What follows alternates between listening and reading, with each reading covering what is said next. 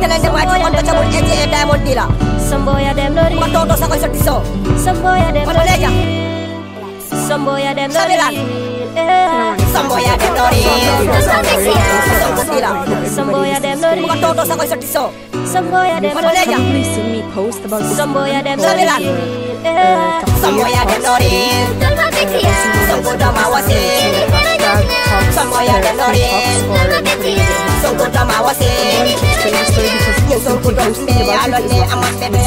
ya Da sulkudo be yalon ne kana do ma Kadi kumol Keso no la ya man kole ya kiling ni pamma Yan ni bebe panna Beri ya de panna Mari mo se padan dala Allah di girl. Yes Allah ma sweet mama. Mahata joy of course just like banana I don't think What all I know is very just up Sambo ya de So nori what's happening is that Sulkudo ma on wasi Monday, the 22nd of June, HTS Sulkudo ma wasi his wife by force without giving any explanation or a reason for his arrest at all. Not only that, they put his wife and children under house arrest and they stopped his project.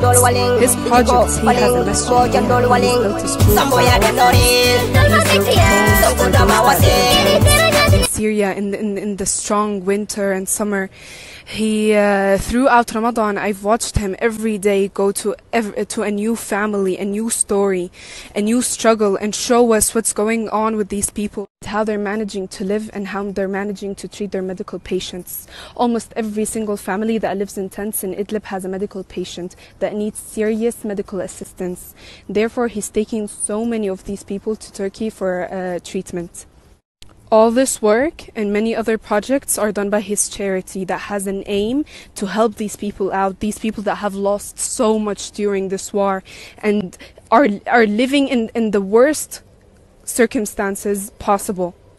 People on, in Idlib are, were not quiet about this at all. Children and women protested for him. This is the first time in the history of Syria that anybody protests for a foreign man. It wasn't men that went out and protested. It wasn't teenagers. It was children.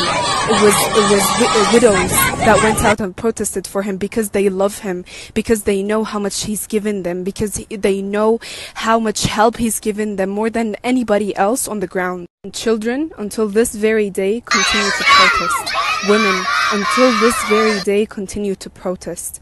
Uh, they were even attacked by some soldiers. All the allegations made against him are completely false. This man is innocent. This man has done nothing but the best to those people. He's he, he's British. He's given up his life in Britain to come help in Syria, and this is what he gets. All I'm asking for you to do right now is to share this video, raise awareness about this topic and share the, has- the hashtag الحرية لأبو حسام or free Tox. The least that we can do for such a hero is raise awareness about this topic.